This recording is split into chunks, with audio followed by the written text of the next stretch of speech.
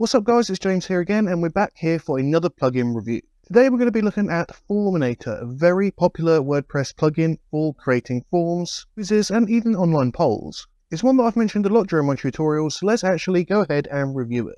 So as previously mentioned, it's a popular one with just over half a million downloads and managing to maintain a 5 star rating. Now I'll be honest, this is one that I personally use myself quite a lot, pretty much on every site because it sort of has a bit of everything. However, Let's just go over everything just so you can see if it's something that you can use yourself or if it would be helpful. So once downloaded, you're going to find the Forminator on the bottom left with all the options that it has here. Let's have a quick run through through the options, which it has the dashboard, forms so you can manage your forms, polls and quizzes, which is something that we haven't actually seen before yet, which is actually you've been able to create a poll and a quiz that you can create and use on your site for visitors to use. I love this feature because it helps with interaction. And the more interaction, the better for SEO, the better for SEO, the higher you rank on Google. But we're not going to go into that. Templates, which is a new thing, your submissions, so any form submissions, they're going to go there, add-ons, integrations, reporting from your forms, and of course settings. So let's get started first with the dashboard and see what the dashboard shows us. Here we can see how many forms we currently have, the last submission for your form, and also polls and quizzes. We basically have a quick place that we can get all of our data or go ahead and create from. Next up we've got forms, which of course is the most important bit of a form plugin. Here we have the choice to either create our first form or go ahead and import. Now, before we go ahead and test all the creation of the new form, I just want to go and point out one of the new things which I actually have put here, which is templates, which other form plugins do actually offer already, which is pre-made templates for certain forms. So for instance, your contact form, a quote request, newsletter sign up, registration, and so on. Obviously, some are locked behind a paywall with the pro version, but you also get some good free ones as well. Now, obviously, this might save you some time in terms of wanting a quick contact form. You can just go ahead, preview, or create this exact form. However, we're going to go back to forms here and we're going to just start one from the start so you can see how the creation process is as well and how easy it is to make a form. So we're going to go ahead and create. Here you can pick from any of the templates if you pray for the Pro version, you can also get from Cloud templates as well. However, I'm just going to go with a blank form this time. We're going to name our form. And here we have the, uh, the form builder essentially. It looks a little bit different to the other form builders that we used so far. And rather than being a drag and drop, um, so far we can drag and drop it. You actually use the click insert field section or you can click the little plus up here. You have quite a nice selection including name, email, phone number, address, website, radio buttons, date picker, calculations, I've mentioned this before, one of the forms calculations is where you add a certain numerical value to different answers, uh, meaning that you can have different outcomes or like if answers, if somebody answers something, or if something is something to show something else. I know that sounded a little bit complicated as I described it then. I do have a video on how to create a calculation form. I'll have that popping up right now. Anyway, we've got everything from a time picker to file uploads, uh, your post data, which I think is really cool, a reCAPTCHA, of course, HTML, rating, which is new and free apparently. And the only thing on here which is actually logged behind the paywall is an e-signature, which I actually think, compared to all the other forms that we've looked at so far, is probably one of the most generous. Other ones have random things behind the paywall. So let's just start with a name. And one thing I'm going to say is that it's it's not hard, but it's not as easy as some other ones. Um, I, I honestly think it's just in the right hardness of being able to get enough settings, enough changes to make it personal, but not you know something that nobody can understand.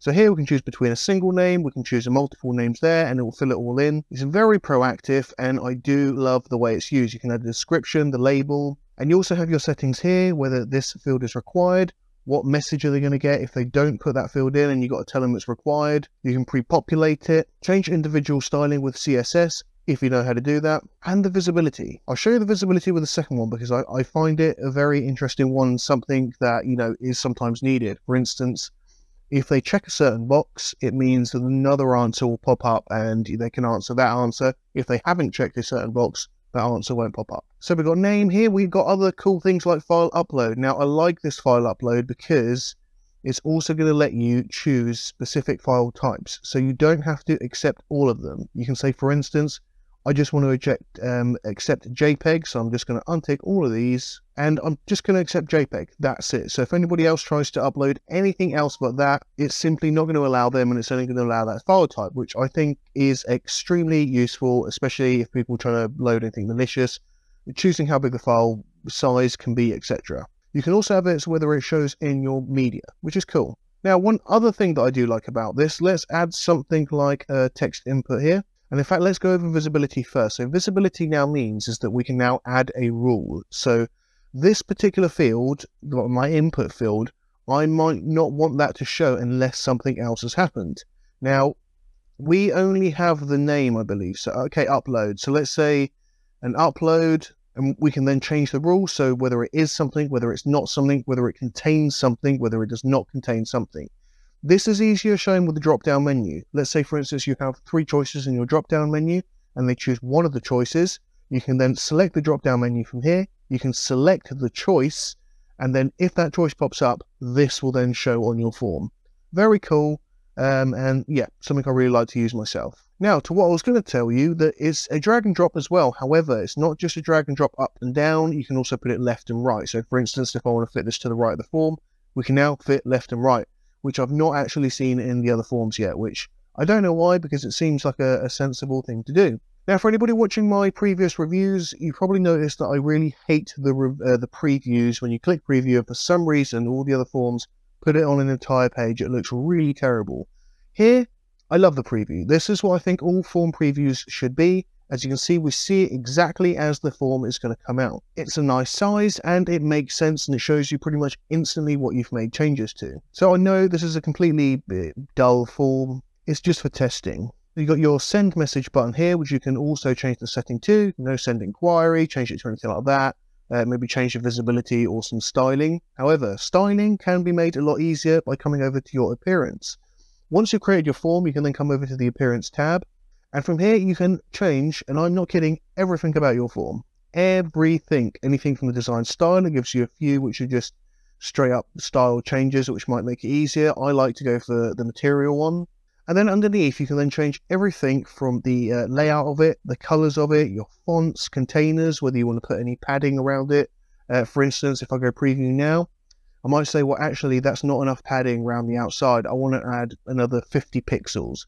You can do that on here without using the Pro version by simply coming over to the padding, change it to custom, 50, 50, and just, you know, change it to whatever padding you want around the form.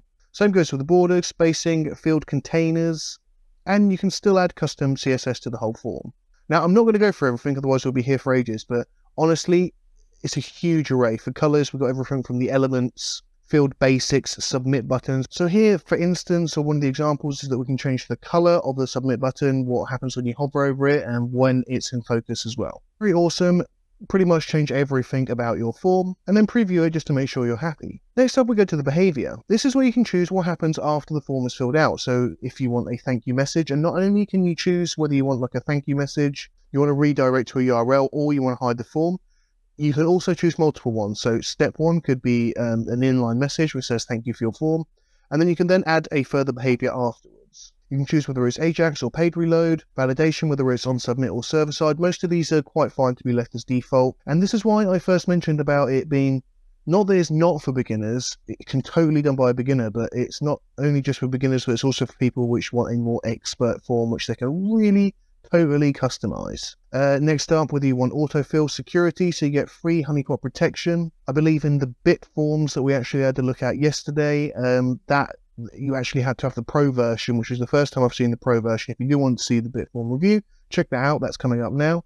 Um, you can you can integrate Akismet spam protection, enable logged in uh, in submission only, how long the lifespan is, and we got lots of cool settings um, that you, you know you're able to change basically everything of, which I, I think is great. Change it to PDF, you do need the pro version, so that's something that you can't get with the free version. And if you do want to upgrade and generate or send PDF files like form entries, receipts, invoices, quotations, etc., you would have to upgrade to Pro. Next up, we come to email notifications. Now, this will need to be set up with some sort of SMTP. This won't work if you don't have an SMTP.